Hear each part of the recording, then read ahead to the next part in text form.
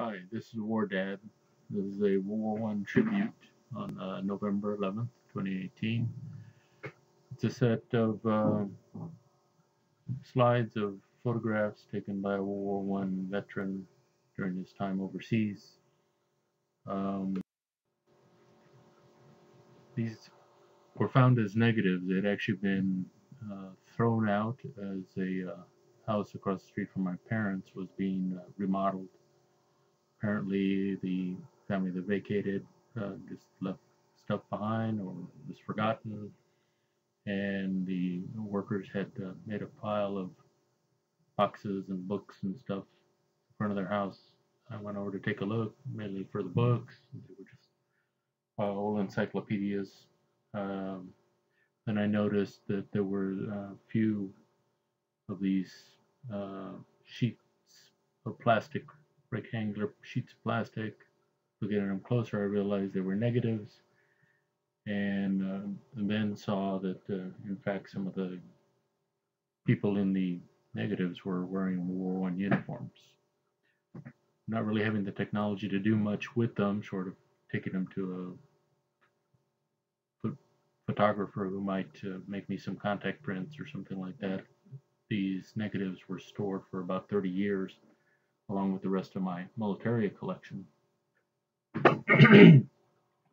In 2018, um, my sons helped me uh, to um, work with some of the software capable of inverting the negatives or taking them from negative to positive so that I could actually see what I had. The photos are from a uh, World War I veteran, First Lieutenant Claude B. Lane, was with a machine gun battalion during World War II, and uh, he was born in 1896 and died in 1969. My wife did some research online and found newspaper clippings. One was related to his commissioning, shown as August 14th, 1917. And the Paris Morning News refers to Paris, Texas, not Paris, France. Here's an example of the negative. Um, this is what I had to work with. As you can see, uh, a little hard to gauge what I actually had just by looking through, through these. But once uh, I had the proper software and was capable of creating a photograph, uh, they really came through quite vividly, as shown here. Here's a view of the troops at a Red Cross canteen. This is an interesting photograph showing the uh, advanced technology of a motorcycle in this time period. I believe that the man sitting in the sidecar may be Lieutenant Lane. Uh, there's one particular person that's seen throughout, and that's the man in the sidecar here also basing that on what I knew of the family, both his grandchildren and his children. They were very light complected and, and uh, blonde, blue eyed. So I think uh, it's a good possibility that that's him in the sidecar. I made the notation that uh, it has 90th Division markings, and you can see the T and O superimposed there on the sidecar. Uh, the unit marking of the 90th Infantry Division. Here we see the troop ship. Um, probably the, looks like they've just boarded.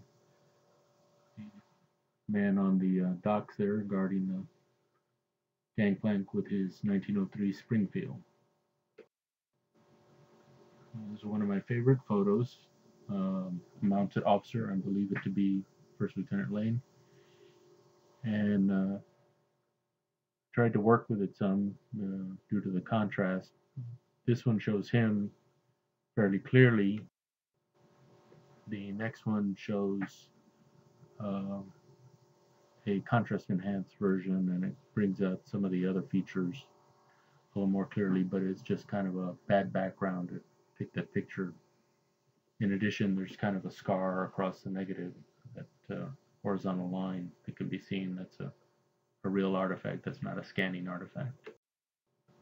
I refer to this photo as the grim-faced lieutenant uh, one of his contemporaries, perhaps. It's a nice, crisp photograph showing the uh, officer, his insignia, and his uniform. Here's another one on a troop ship. Don't know whether shipping out from the States or headed home. Perhaps headed home, I don't know. These troops, uh, this is a sequence of three photos, which are groups of troops ready for parade or perhaps moving out to the front. They seem pretty well equipped. And uh, one thought is perhaps these were the men under his command. One of the things I noticed in the uh, photographs is these troops don't have the standard cartridge belts that you would issue troops that were going to be carrying the 1903 Springfield. In fact, they have 45 pouches. You can see most of them have two 45 magazine pouches for the Colt 45 pistol. Some of them you can see they have the holster. The only thing I could think is that because they were a machine gun battalion, that perhaps their personal uh, arm that they carried was restricted to the pistol. Uh, that's the only suggestion I have. Otherwise, these are excellent shots showing their equipment. The men also have a variety of styles of overseas caps. Some seem to be very high peaked, and others kind of a little bit lower. And this may also be a caused by the way they've chosen to wear them. Some straight up, some cocked, some pushed forward. It's just interesting to see them uh, expressing individuality in the style in which they're wearing that cap. Nice shot of an officer with his enlisted men. You can see off on the right there is a sergeant. You can See his stripes clearly. Um, maybe a corporal, but I think it's a sergeant. Of interest is that they're not wearing any sort of web equipment, no pistol belts or anything like that. So either they're kind of in a rest area or or essentially they're some sort of support troops that uh, their primary functions are don't require them to wear weapons and sidearms and such. Here's a nice view of a European town, maybe Belgian, maybe French. You can be looking across the Rhine in Germany or something, I guess. No telling at this point. There's no one to ask where these places are or who these men are. There's an interesting photo, uh, kind of a unique cap on this uh, young farm boy and uh, taking his livestock out. Looks like he might be actually hitched to something. But anyway, obviously uh, the photographer found it a interesting scene and snapped the photo. Here again, soldiers at sea. Uh, what's unusual about this photo is the uh, one man that seems to have like a card or a cloth or something tucked up under his cap. I don't know, maybe maybe they're playing a card game or something, or he just tucked it up there. No matter what, it's an odd photo. This is a very interesting village. It's a terraced village. It kind of creates a surreal look to it. Down at the bottom of the photo, the gates and windows and doorways are actually dug into the side of the terrace above it. And that so there's two terraces shown. The uppermost, just below the uh, lower number 53, those houses are literally two terraces up from the lowermost uh, dwellings. Here we see troops boarding a ship. A nice shot of packs, helmets, their gear in general. I called this one No Dining Car on this Train. Uh, the soldiers look like they've just gotten out to stretch their legs, and apparently somebody provided them with sandwiches. They have their canteen cups out. There's another uh, good shot showing a variety of expressions and again the different styles of wearing their overseas cap. The man closest to the camera on the left appears to actually be wearing it sideways. Kind of a patriotic shot. The stars and stripes in front of a European looking building. Possibly maybe it was a headquarters for them or uh, just uh, someone set it up for a nice picturesque photo. This is another favorite. Here we see uh, the fact that livestock still uh, played an important role at this time in the American Army. Three soldiers tending to an army mule. One man seems to be pumping something, whether they're giving him a washdown or some sort of uh, medical treatment. Uh, who knows? But uh, uh, it's an interesting photo nonetheless. It appears that maybe the man on the left pumping the hose almost looks like he has goggles on his cap. Not sure whether that's actual or just the way the wrinkles and the shadows fall, but it appears to to be goggles to me. Here's a shot of a fast moving river and a small bridge. On the far side you can see an American soldier. Whether this was a site of a skirmish or a key objective, or they just thought it was a picturesque view to, to get a shot send back to the folks. This photo, um, just because of the way it's composed, uh, makes me believe again, you know, based on what I knew of this man's descendants, that uh, perhaps this is the most clear shot of First Lieutenant Lane. Uh, very striking. He's got his swagger stick and a riding crop, heavy overcoat, and uh, very nicely posed. Here we take a look at his later life, um, and uh, ends up making a little article out of his visit to his mom, um, just in the kind of like society page, I guess. Then a little bit later on, in 48, he loses a sister. Who was he to me? Claude B. Lane was uh, a neighbor, and uh, I remember being a kid and my folks telling me that he was a veteran of World War One. Uh, as I've mentioned before, uh, their extended family actually lived in the neighborhood. He was the the old man, the grandfather, his son and daughter-in-law lived in a house nearby and uh, had several kids uh, that were basically my contemporaries and I knew.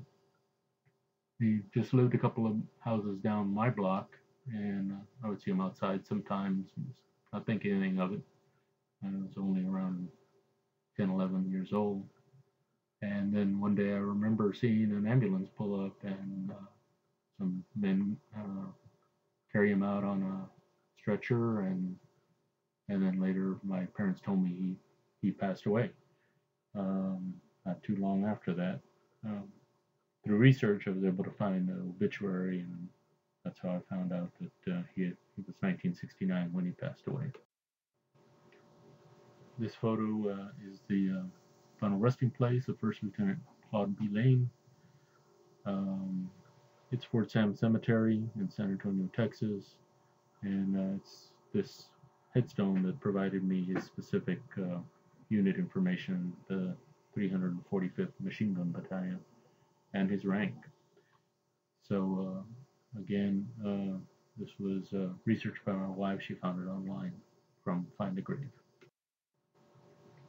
A little word about the images themselves.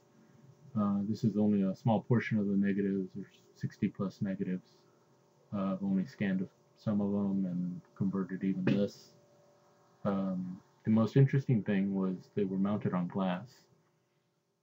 As you may have noticed, I chose to place them in numeric order rather than uh, doing them in what sort of uh, sequence they may have occurred in or grouping them, all the men on ships or all the ones in Europe. The scanned image, if you zoom in on any of these, you have that ability. It's not the best, uh, but this is a first pass, and most importantly, I was attempting to kind of do a survey of exactly what sort of subject matter I would have in these negatives. It's nice to see them as photographs. I intend to uh, kind of uh, keep plugging away at it, and hopefully I'll upload some more images as I uh, scan, and hopefully I'll continue to, through trial and error, come up with uh, improvements on the quality. Uh, War Dad is the uh, kind of nickname one of my sons came up uh, with, and uh, he also created the the image you saw in the opening shot with the little bloblet wearing a helmet. Uh, he has his own YouTube channel, It goes by Cake. Um, myself, I've been collecting Militaria since 1974. Started off with uh, World War II, German and American items. Kind of went back to World War One, 1930s. Went forward into the Cold War. Have quite a collection of East German, some Soviet, uh, and then even things from our current wars in Afghanistan and Iraq. The uh, intent of this upload, um, and hopefully what I'll be using the channel for, is to share images and video of my military collectibles. Uh, people always say, wow, you got nice collection, broad variety. It'd be nice if you had a could put it in a museum. And I always say, well, I'm too broke to open a private museum. Anybody that knows anything about that knows it requires funding, establishing a foundation for fundraising, volunteers, etc., etc. Uh, to say nothing of the expense of the building and all that, and maintaining things. So for now, this is how I'll share my military collectibles. The uh, intent is to share um, as much as possible the personal stories, the personal artifacts that remind us that these people were uh, our fellow human beings that were had lives and were uh, uh, just doing the best they could under the circumstances um, that they were handed. My hope that this presentation will uh, create an interest in history by people who maybe find it boring uh, to me, the artifacts are uh, what uh, allow us to kind of reach back through time and and touch these people. I want to say thanks to my son, uh, Cake, who uh, provided technical support, and uh, Sarge, who proofed and advised me on this. The um, effort has really been kind of partially inspired by them. And uh, also want to thank my wife for the research she did in Find a Grave and the newspaper clippings.